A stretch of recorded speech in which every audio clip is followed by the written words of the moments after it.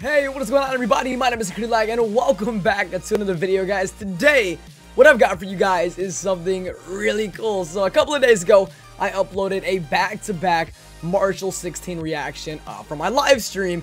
And I got hit up on Twitter from a buddy of mine, Carnage Machine. He said, yo Blake, the same thing happened to me, but it was with a different weapon. It was one of the brand new weapons in Black Ops 3 and he was like, yo, check it out. I checked it out and I actually wanted to share it with you guys. You guys really liked my back-to-back -back Marshal 16 video, so I wanted to bring this to you guys. Enjoy the video. Check out Carnage Machine in the description down below and let me know in the comments down below if these uh if these duplicates are happening to you guys because it's happening a lot. It's happening to me a lot on stream tonight. Something happened and uh you, guys will hear about it in a couple of days. But let me know what, what you guys think and uh let's get into the video.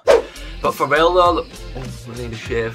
but anyways guys, like I was going to say, I was, ooh, that's a nice calling card there, I've never seen that one before. So we're doing pretty good to start off with. Hopefully we can get a new weapon, which is the HG4 because all the others are just cosmetic crap. So like I was going to say, I don't like the fact when I buy these like set of supply drops or COD points or whatever to get the supply drops, I have that 100 extra COD points left over. So you'll see me, I'll be able to get three more supply drops after this because I've got 700 COD points.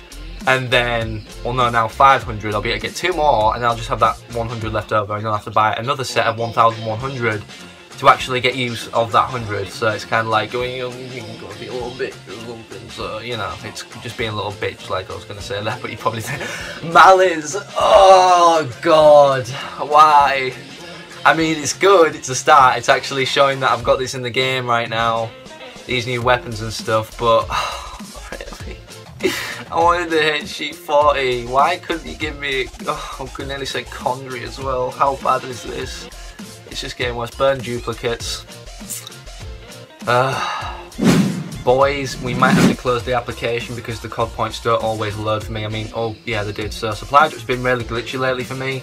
I don't know about you guys, but I really want that HG40 or that MX Garand. Let's see what we can get. Are you fucking serious? Malice again. You know what?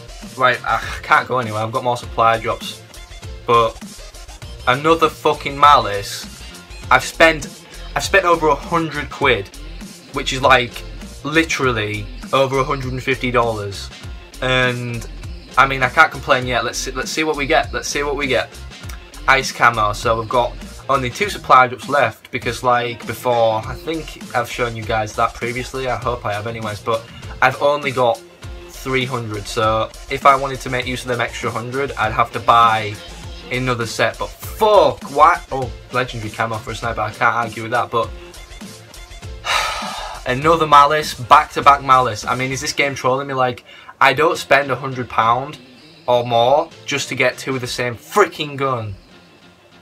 Fuck.